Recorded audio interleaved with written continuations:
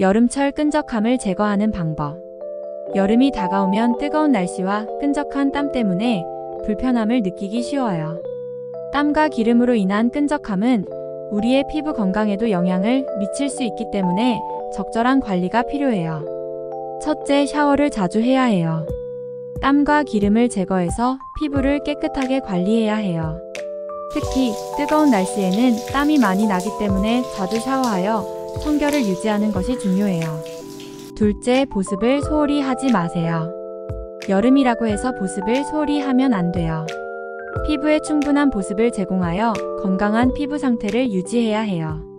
가벼운 수분 크림이나 젤 타입의 보습제를 활용해 보세요. 셋째, 끈적함을 줄이기 위해 미스트를 활용해 보세요. 미스트를 사용하면 여름철에도 간편하게 얼굴을 촉촉하게 유지할 수 있어요.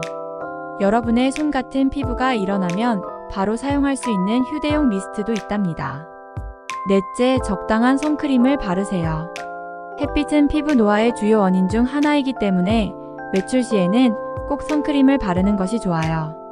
땀이 많이 나는 여름철에는 이 시간마다 지속적으로 선크림을 발라 피부를 보호해주세요. 다섯째, 실내를 시원하게 유지해주세요. 실내 온도를 낮춰서 끈적함을 줄일 수 있어요. 에어컨을 적절히 사용하여 실내를 시원하게 유지하고 땀이 많이 나는 부위는 시원한 수건으로 닦아주세요. 적절한 실내 온도는 26도라고 합니다. 요약하자면 자주 샤워하고 청결을 유지하며 보습을 소홀히 하지 않으며 미스트와 선크림을 활용하여 피부를 케어하고 실내를 시원하게 유지하는 것이 중요해요.